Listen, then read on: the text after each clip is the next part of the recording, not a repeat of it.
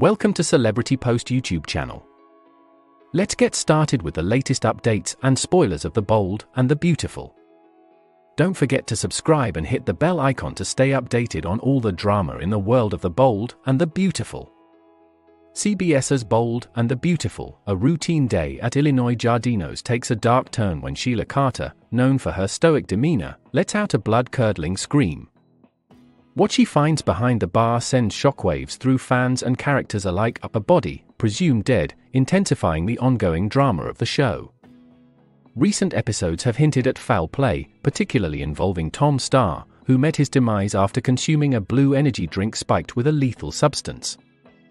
Initially ruled as a drug overdose, it's suspected that someone close to Tom tampered with his drink.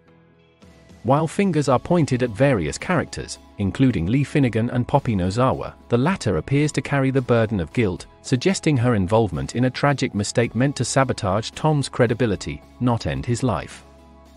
Sheila stumbles upon this grim scene while attending to daily tasks, suggesting that the victim could be Hollis or Deacon Sharpe, both of whom doubted the overdose explanation.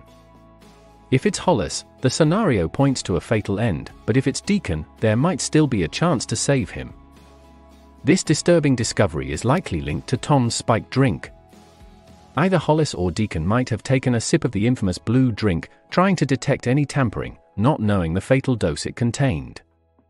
This incident not only propels a homicide investigation but also edges closer to exposing the truth behind Poppy's special mints.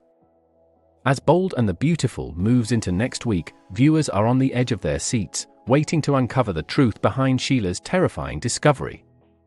What lies beneath the bar at Il Giardino's? Is it a final curtain for one of the characters, or is there a twist in the tale?